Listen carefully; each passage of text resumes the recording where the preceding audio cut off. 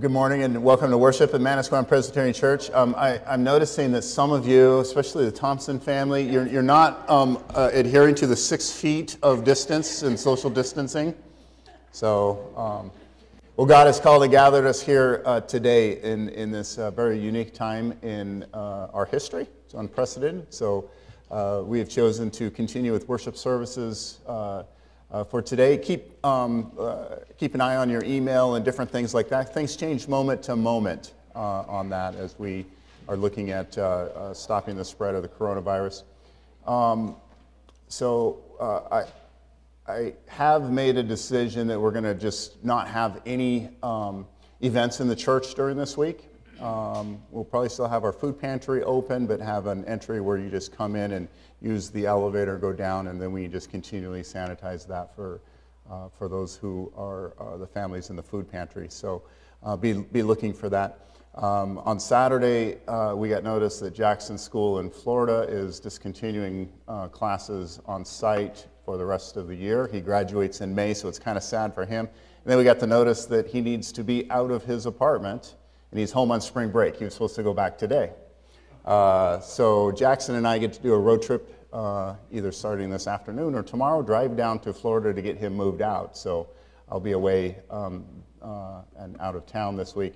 Pastor David will be here. Um, he'll be here at the hospital, but you can't go see him at the hospital uh, either. Uh, but he'll be here and available, and, and uh, Dave Valenta is here and, and other people. So, um, in your bulletin, I, uh, we just put a little thing on here, just some information. There's a lot of information. a lot of this is what you already know, uh, but take time to read through this on you know coronavirus in the church. And today during our offering, we're not going to be passing the plates around. You might have seen the offering plates out there. So as you leave, you can just uh, drop your um, offering in in the offering plate um, as, as you go out. Um, and then we also put together this uh, different ways that you can give. We do have some self-addressed, self-addressed envelopes at the Welcome Center. Uh, so if, you, if that is more convenient for you, uh, to grab some of those in, uh, in your giving if you're not able to get to church. If you're sick, stay home, obviously, and um, uh, find ways that uh, we can not react by fear or, or, or to uh, you know, just go into the self-protection mode or go into an isolation mode, but how can we do the things that are listed in, in, in here in, in, a way of, of understanding and helping the most vulnerable among us as, as we're into this. So um, it is very uh, an, an interesting time. So uh, I'd like to invite Pastor David to come. He's going to share a few things of what's happening at the hospital and, and some other information for you.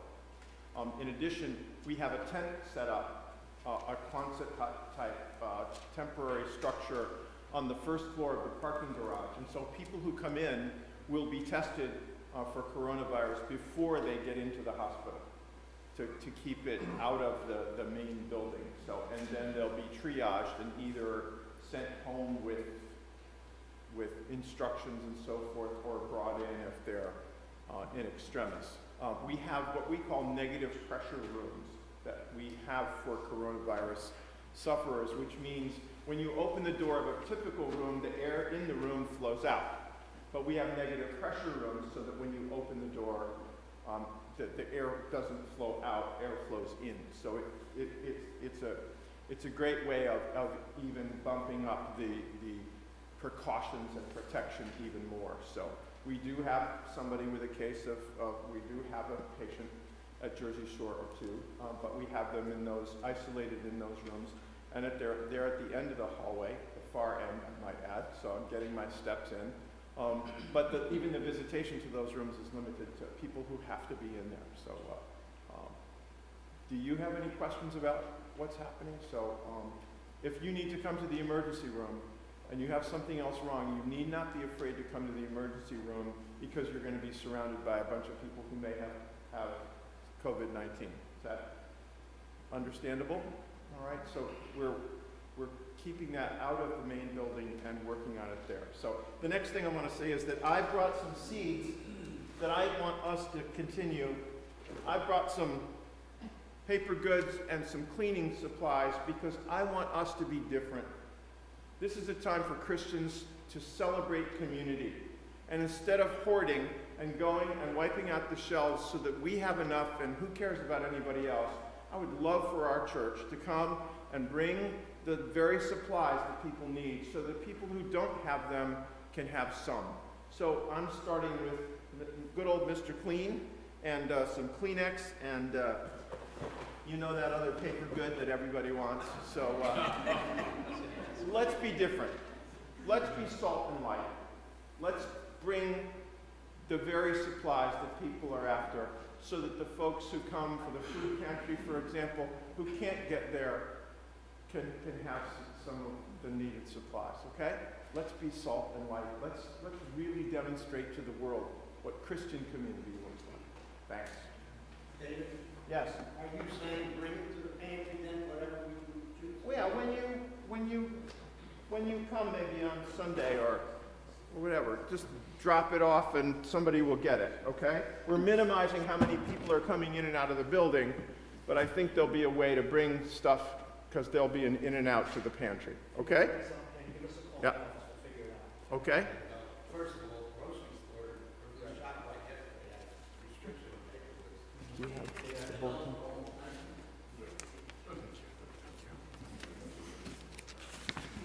All right. So, thank you for thank you for your attention and and it's a part of life and church is not something divorced and separate from life. It's it's involved with life. So, even though it's a, an untraditional start, let's now focus our hearts and our minds on the Lord and listen to our prelude.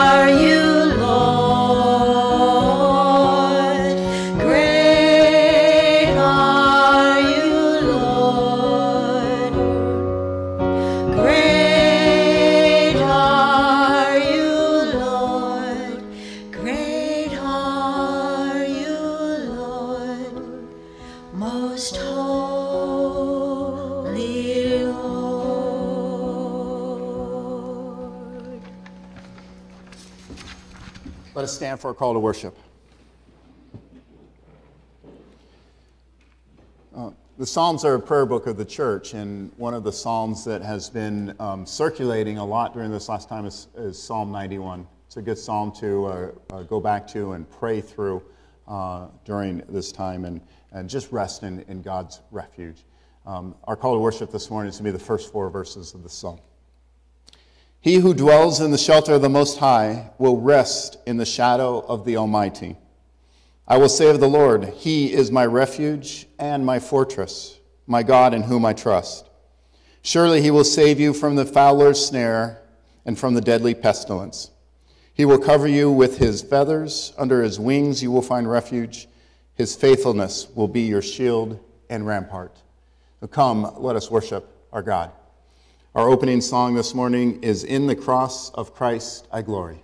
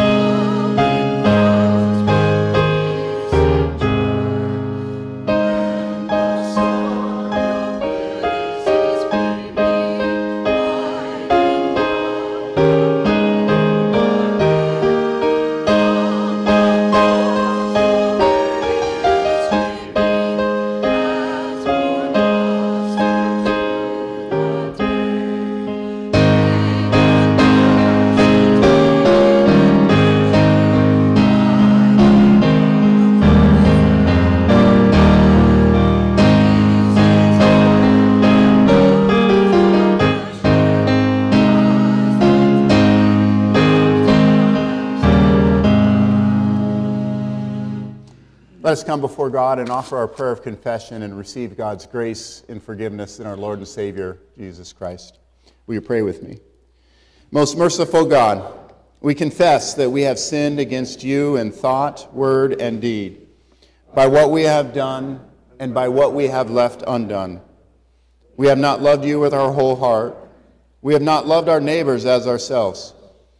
We are truly sorry and we humbly repent.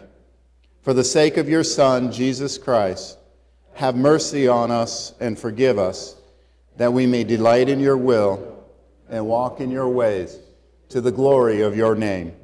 Amen. Hear the good news of the gospel of Jesus Christ. In him we are forgiven. Hallelujah. Amen.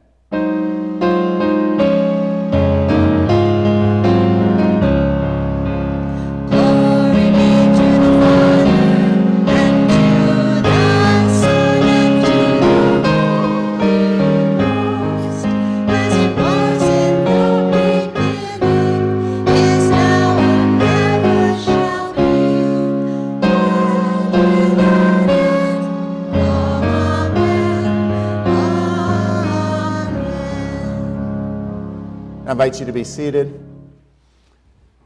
As I said, we're going to uh, take the offering at the plates at the exits of the doors, and so we're not going to pass the plates around, but uh, I just invite you during this time of the offertory to think of the blessings that God has given each and every one of us and how we, in turn, as Pastor David had said, can and take our blessings and, and, and share them uh, with others as well, too.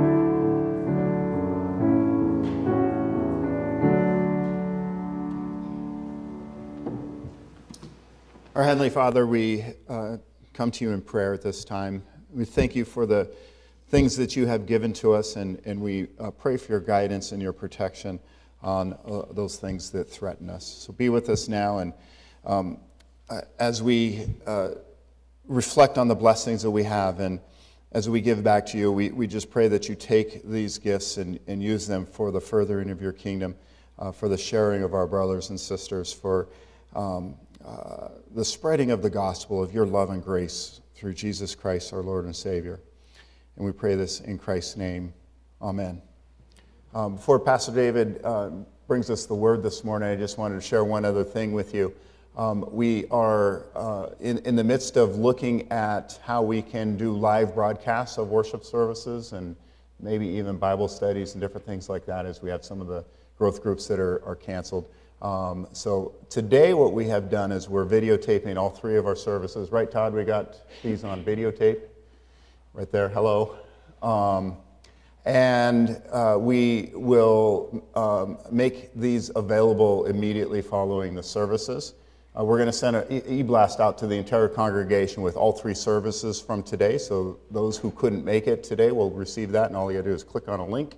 It'll be there, and it's also on our church webpage.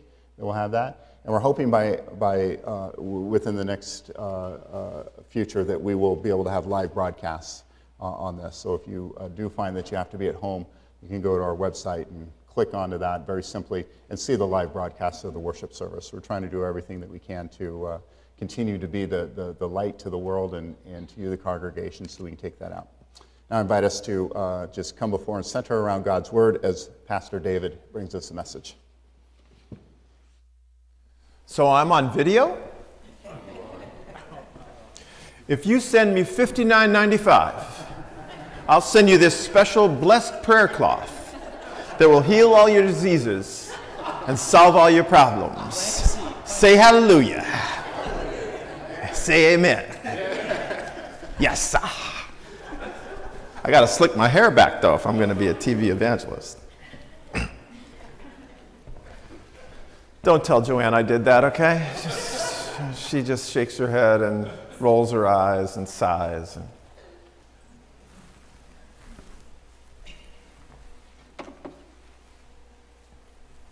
so uh, I planned this before coronavirus, but it turns out to be pretty apropos. I want to talk to you today about risky business, but what I really mean is risky faith that comes from obedience. So, how are things going these days? How are your investments? Are you afraid to look? Uh, my, my 401k is down to about 298. Um, we're all uh, feeling a little shaky. I mean, I, I've worked at the hospital. I'm in my 27th year of working there, and on Friday, there were no people. There were no visitors. It was eerie. It was empty. It was quiet. Kate, come on, huh? It was just really strange.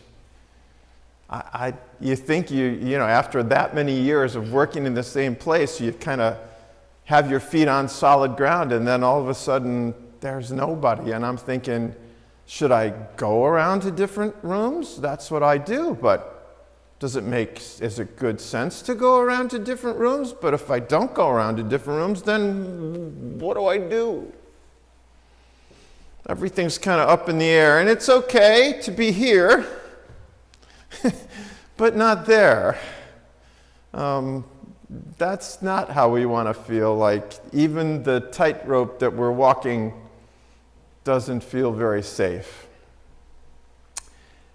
There's a wonderful wonderful piece of Jesus' life that I think speaks to us and to the place that we all seem to be in and to what Jesus calls us to do. so let's take a look at it. The Sea of Galilee is notorious for storms. All right? I'm going to give you a little Weather Channel lesson. All right? The Sea of Galilee is actually below sea level. And on one side is the Mediterranean, you know, wonderful merit the Mediterranean. Come on. Oh, those commercials, you know, the cruises that you can't go on anymore, you know, those. And on the other side is the desert. Iran, Iraq, that dry, dusty, super hot desert. Hot, dry wind, cool, moist wind, below sea level, collision. That's what happens on the Sea of Galilee. This is a picture of Jesus and the guys in the boat, except we, if, if I were in Ohio, I wouldn't care much about this picture, but those of us who live here at the shore know that they would not have the sail up during the storm. All right? My friend Ken is a boater. He's looking at it saying, Those guys are crazy. They, they, they must be from Ohio. Um, they, they've got the sail up in the midst of the storm. Jesus has just fed the 5,000 people. He's at the peak of his popularity. Everybody's following him, everybody knows about him.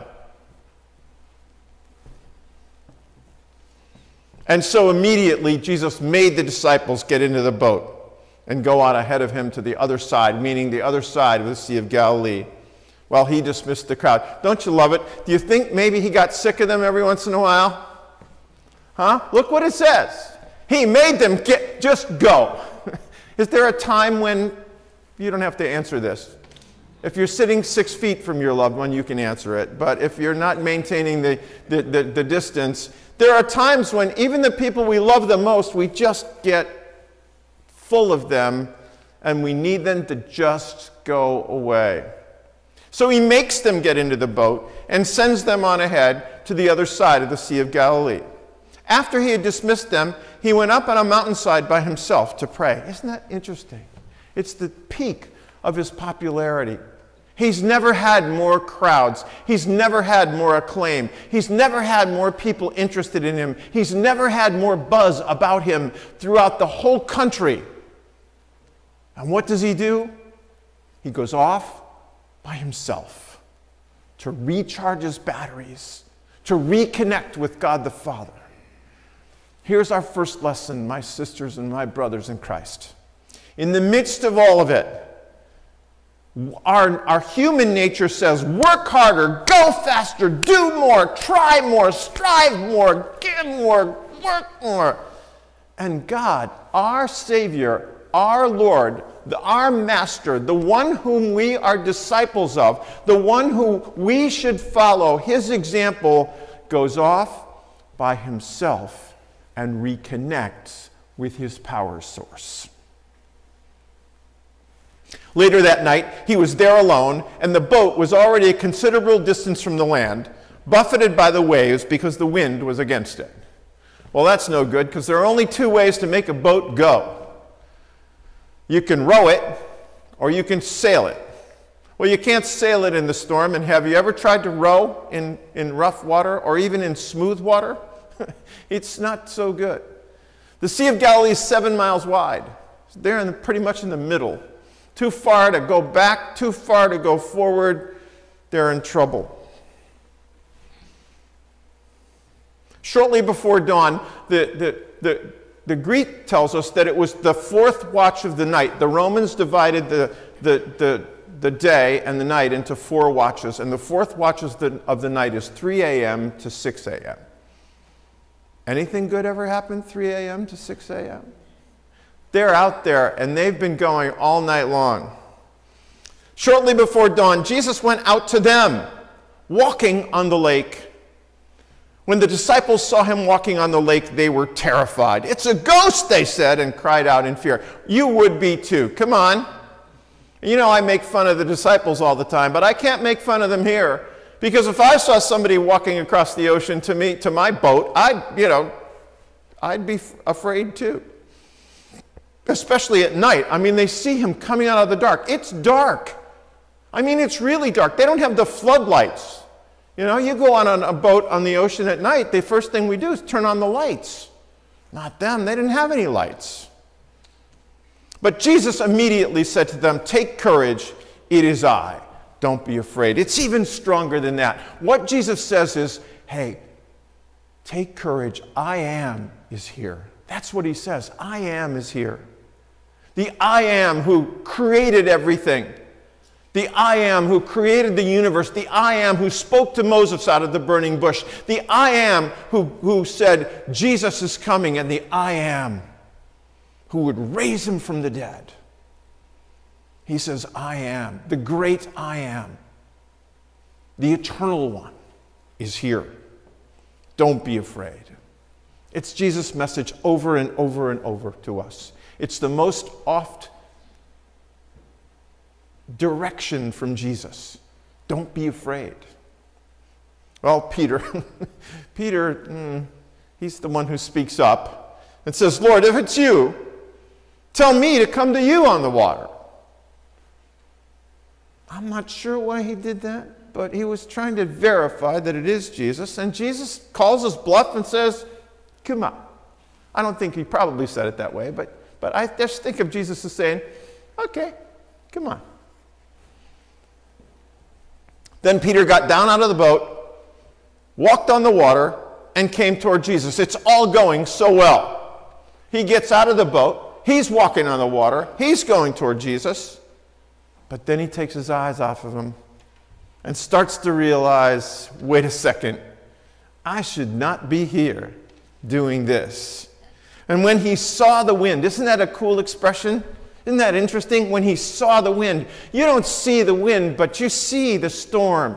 You look at this storm, you take your eyes off of Jesus, and you put your eyes on the storm. And you give more credit and more power and more worship to the storm than you do to Jesus. And what happens? And beginning to sink, cried out, Lord, save me. And Jesus said, You got yourself into this. You're the one who kept your eyes off of me. You're the one who looked around. Tough. Nah, not quite. What's the next word? Immediately. Immediately, Jesus reached out his hand and caught him. You of little faith, he said, why did you doubt? And when they climbed into the boat, the wind died down, and then those who were in the boat worshiped him, saying, Truly, you are the Son of God. Fascinating story, one of my favorites in all of Scripture because there's just so much. There's so much rich, richness and so many lessons in this story. But today, I want to talk to you about the lesson of risky obedience. Faith in Jesus Christ requires risky obedience. Why do I call it risky obedience? Because Jesus always calls us to step out in faith, to step, to, to move from where we are to where Jesus wants us to be. And the problem with that is that Jesus always calls us to take a step beyond our comfort zone. And we like our comfort zone. I like my comfort zone. 26 years in the hospital, I know what I'm doing. I know everybody. I know every place. I know every shortcut. I know where everybody's serving food. I know when you bring donuts to a unit, I know that you've brought them. I've got my comfort zone, and on Friday, I didn't have my comfort zone. We love our comfort zone. And Jesus says, risky obedience faith in Christ requires us at times to leave that comfort zone. Why is it risky obedience? Why is it leaving our comfort zone? Because that step of faith that Christ calls us to requires us to step beyond where we can see. Jesus doesn't say, okay, here's exactly what's going to happen. Here's exactly where you're going to go. Here's exactly how it's going to work out. So come on. That's not walking in faith. That's not stepping out in faith. It's not faith in Christ. It doesn't require any faith. So Jesus always asks us to take a step beyond our line of sight. And Jesus always calls us to take step one before we can see where step two and three and four and six and eight are going to take us.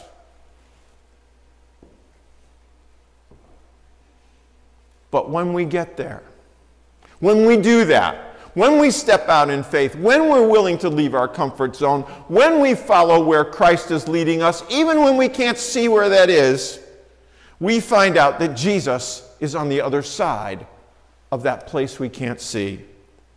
Jesus is calling us to risky obedience, to love the Lord and become his disciple. And reflect his love. Being a disciple means that you do what the master does, that you say what the master says, that you live the way the master lives, you follow the master. And our master walked in love and spoke in love and cared in love. And so, risky obedience requires us to do that because love is risky. We know that. We all understand that. Love makes you vulnerable, love opens you up more than anything else in life. Ripping your heart open to love people leaves you vulnerable. But Jesus lived exactly that way. Jesus loved exactly that way. And Jesus calls us to be his disciples. Risky obedience, Jesus calls us to risky obedience to, to make our priorities his priorities. And they're simple and yet very difficult at the same time to love God and to love our neighbor. Those are Jesus' priorities. Remember going off by himself? He didn't look for the popularity. He didn't look for the power. He didn't look for the prestige. He didn't look for the money. He didn't look for the earthly kinds of rewards. He looked for connection to God the Father. And the priorities of Jesus need to be our priorities, and they're risky because the world doesn't work that way. It makes us different. We don't like to be different. We like to blend. We like to be the same as everybody around us. We like everybody around us to be the same as us. And Jesus says, No, I want your priorities to be my priorities to love God and to love your neighbor. Jesus calls us to risky obedience to listen and to follow his call beyond sight and beyond what we consider to be safety. Because staying where I am seems safer, and being who I am seems safer, and loving only people who are like me seems safer, and staying in my little kind of comfort zone, hermetically sealed bubble seems safer. But Jesus calls us beyond that. And Jesus calls us to risky obedience, to love others as we love ourselves. I think there was a sermon about that sometime not too long ago. And especially the ones who aren't like yourself.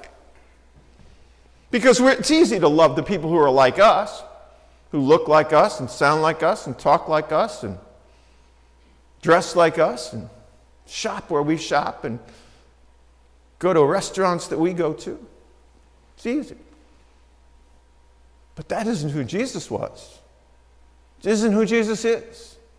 And it isn't what Jesus calls us to do, too. That's risky. I know it. I understand it. I get it.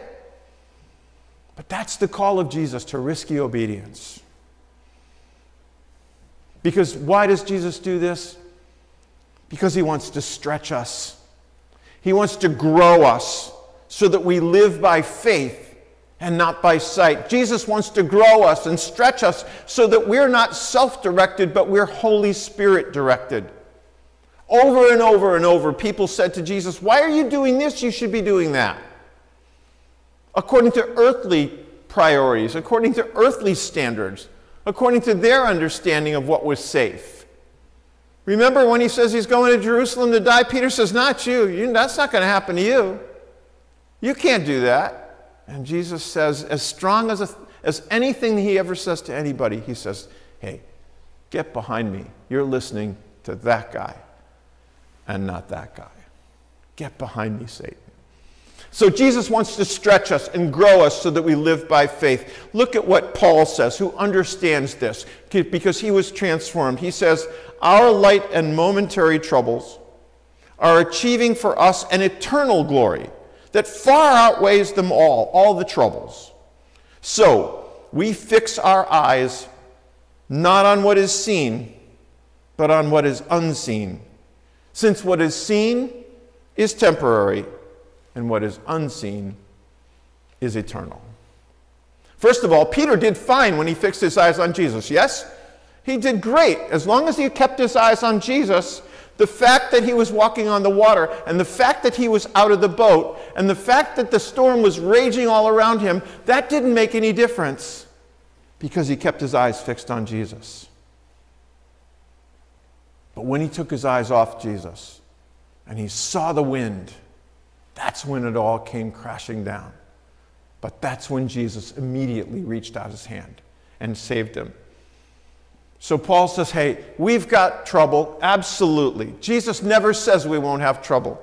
My favorite Bible verse is John 16 33, where Jesus says, In this world you will have tribulation, but be of good cheer. I have overcome the world. We know how it ends, we know who wins, and we have the victory through Jesus Christ our Lord. So he says we've got to we've got to step out of our comfort zone of what we can see and be willing to take that step of risky obedience to what we can't see because what we can see is temporary. And what we can't see is eternal.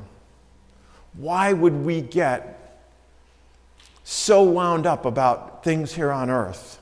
So divided, so split, so angry, so, so divided and, and segmented over things that are all going to go away when we all can keep our eyes fixed on Jesus, where we're going to go forever. The things we can't see are eternal. So let's, let's look at a different definition of safety, shall we? It would have seemed to the other disciples. What do you think they thought when Peter got out of the boat? Come on. What do you think? What an idiot. Here he goes again. But you know what happened? Do you know what they found out? That the safest place to be was out of the boat. Because that's where Jesus is. So, in this time of trouble, in this time of things turned upside down, in this time of life being different than it's ever been before,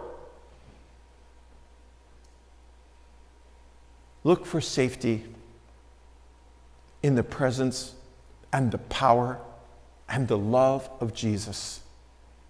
Look for safety and be willing to step outside the boat of your comfort zone and keep your eyes fixed on Jesus and understand and experience that risky obedience isn't risky at all. When God called me to seminary, we had just finished a brand new addition on our house. In fact, I'm finishing it as I'm understanding I'm going to sell it. Ever been there? But our new addition had the first fireplace that my wife and I had ever had. She grew up wanting a fireplace, and her parents never put one in their house. And I grew up with, with a house that my parents said, that's where the fireplace goes. Because it was a kit house, it was a planned house. It was all pre cut and delivered and, like IKEA. And only partially as complicated. and we both said, This is our first fireplace. And, and it was during those wonderful years where the kids go to bed before you do. Now I'm back to those. I, I'm, I, I'm gone now. I, I've been going to bed before my children for a long time now. But we'd put them to bed and we'd lie down on the floor in front of the fireplace and talk about what we would miss about New Jersey and what we wouldn't miss about New Jersey because we were going to Kentucky where we had never been before, literally never been there. And one of the things that we agreed is that we would really miss our fireplace, that it really was not fair to God to call us away from our brand new fireplace. And when we got to Kentucky, we went one weekend to find a house. Just, we, we didn't have a place to live, and we thought, well, we're going, in, uh, we're going in July and it's May. We probably ought to go out and find a place to live because, and that was complicated because neither of us had a job either out there. So the seminary owned a house that had belonged to a professor, and, and he had left, and they wanted him to leave, so they said, We'll buy your house, and so you can just go. so It had sat empty for a year, and friends of ours picked us up at the airport and showed us this house, and we fell in love with it right away and, and bought it, and it has two fireplaces. Two. When we said yes to go, we didn't know that. When we got in the plane to fly to Kentucky, we didn't know that. Sometimes, on the other side of the step of faith that God asks you to take, beyond what you can see, even though it sounds risky, and even though it sounds more dangerous than staying in the boat, God has something special for you on the other side of risky obedience.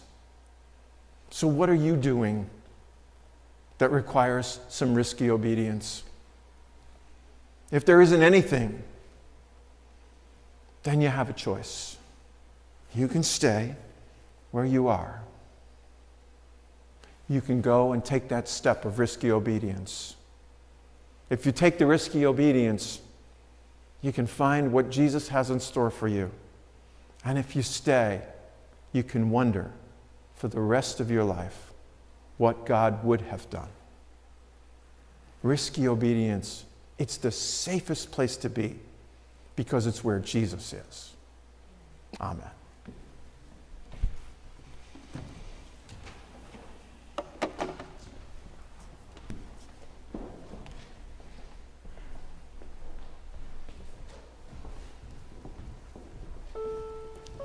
On the night that Jesus gave himself up for us, our Lord Jesus Christ took bread and he broke it and he gave it to his disciples and said, Take, eat, this is my body given for you. Do this in remembrance of me.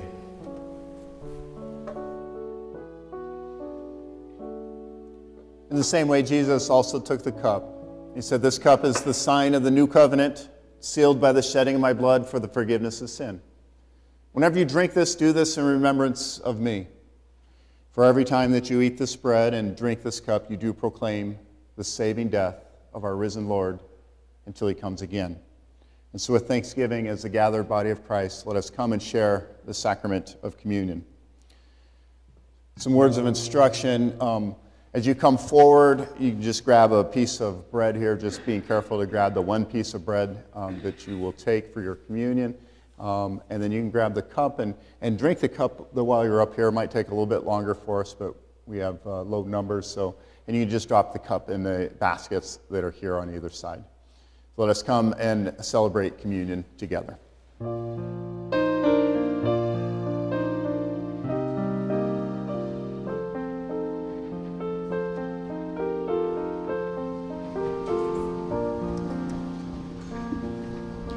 God forgave my sin in Jesus' name.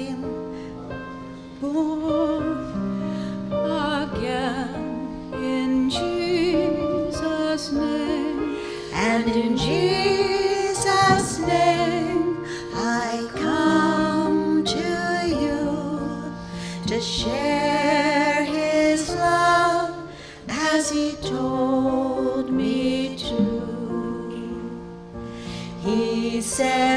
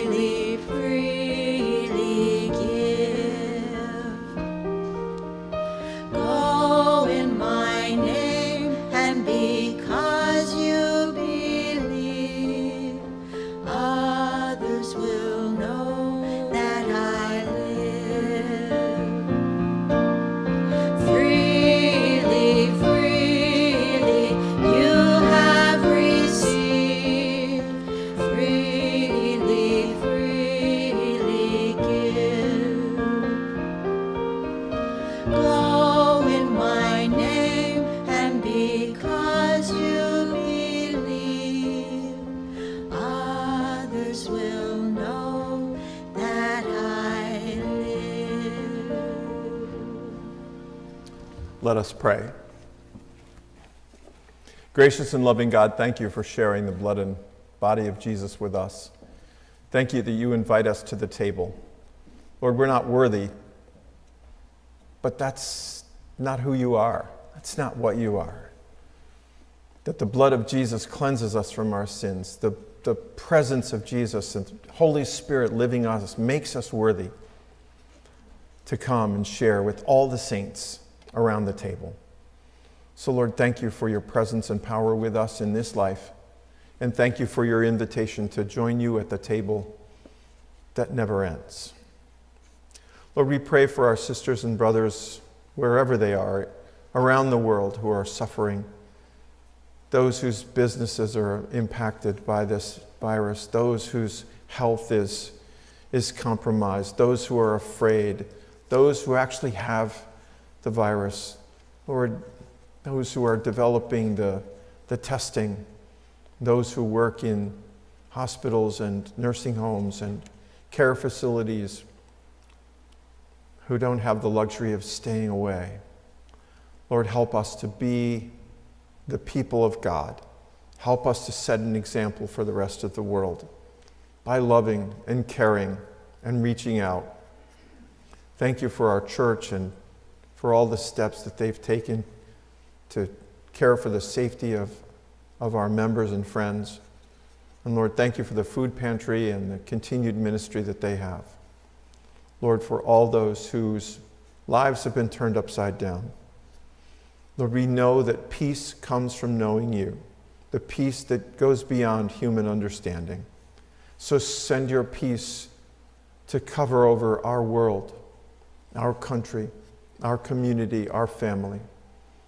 And let the peace of Christ rule in our hearts. And let your miracle working power be a part of everything that we say and do. Lord, for those who are sick today, we pray your comfort and your healing. For those who are caring for them, we pray your safety and your protection. For those who are worried and frightful, Lord, just give them, give them presence and give them peace, give them comfort, security. And Lord, help us to live as those who are prepared for anything because we follow the risen Christ who lives and sits at the right hand of God and prays for us. And as our Lord has prayed for us and taught us, so now let us pray together. Our Father, who art in heaven, hallowed be thy name. Thy kingdom come, thy will be done on earth as it is in heaven. Give us this day our daily bread and forgive us our debts as we forgive our debtors. And lead us not into temptation, but deliver us from evil. For thine is the kingdom, the power, and the glory forever. Amen. Our closing hymn is number 525 Here I Am, Lord.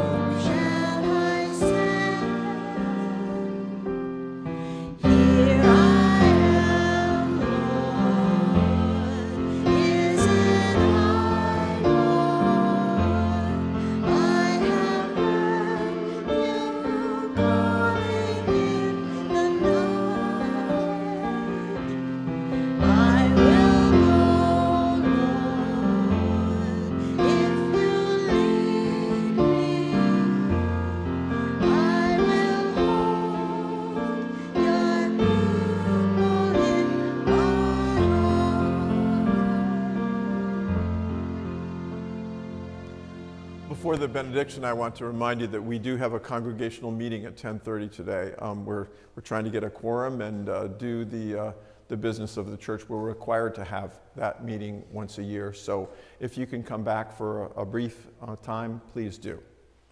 The Lord watch over you as your days increase, bless and guide you wherever you may be, strengthen you when you stand, comfort you when discouraged or sorrowful, raise you up if you fall. And finally, in your hearts, may the peace that passes understanding abide all the days of your life. Through Jesus Christ our Lord. Amen. Not shaking hands. So go with God.